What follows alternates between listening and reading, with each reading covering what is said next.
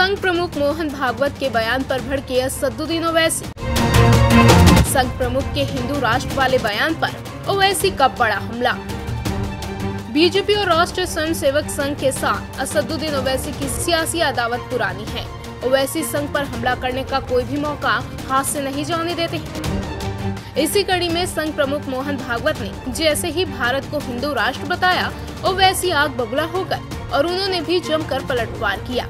दरअसल, RSS sir संचालक मोहन भागवत पर निशाना साधते हुए, ओवैसी ने कहा कि मोहन भागवत भारत को हिंदू राष्ट्र बताकर इतिहास को मिटा नहीं सकते हैं।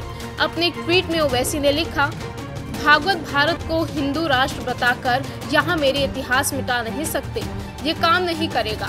वो ये नहीं कह सकते कि हमारी संस्कृति, आस्था और पहचान हिंदुओं से जुड़ी है। भारत ना कभी हिंदू राष्ट्र था, ना है और ना ही कभी बनेगा, इंशाल्लाह। ओवैसी यही नहीं रुके। उन्होंने एक और ट्वीट किया, जिसमें उन्होंने लिखा, कोई फ़र्क नहीं पड़ता कि भागवत हमें विदेशी मुसलमानों से जोड़ने की कितनी कोशिश करते हैं, लेकिन इससे मेरी भारतीयता कम नहीं होगी। हिंदू राष्ट्र, हिंदू सर्वोच्चता, ये हमारे लिए अस्वीकार्य है। इससे पहले संघ प्रमुख मोहन भागवत ने कहा कि विश्व में सबसे सुखी मुसलमान भारत में मिलेंगे क्योंकि हम हिंदू हैं, हिंदू राष्ट्र हैं।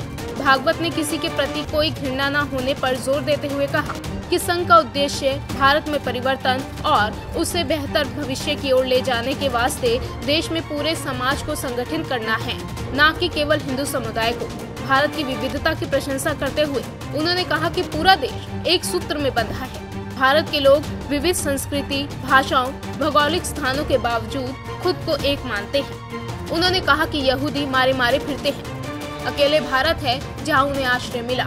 पारसियों की पूजा और मूल धर्म केवल भारत में सुरक्षित है। विश्व में सर्वाधिक सुखी मुसलमान भारत में मिलेगा। ये क्यों है? क्योंकि हम हिंदू हैं। संघ प्रमुख ने कहा कि हमारी किसी के प्रति कोई घृणा नहीं है। एक बेहतर समाज बनाने के लिए हमें एक साथ आगे बढ़ना चाहिए, जो देश में बदलाव ला सके और उसे विकास में मदद दे सके। ये हमारी इच्छा है कि आरएसएस ठप्पा हट जाए। साथ ही आरएसएस और समाज एक समूह के तौर पर काम करे। चलिए सारा श्रेय समाज को दे। लेकिन आरएसएस प्रमुख की ये बात ना तो विपक्ष के गले उतर रही है और ना ही मुस्लिम समाज के कई नेताओं को पसंद आ रही है। इंडिया न्यूज़ वायरल की रिपोर्ट।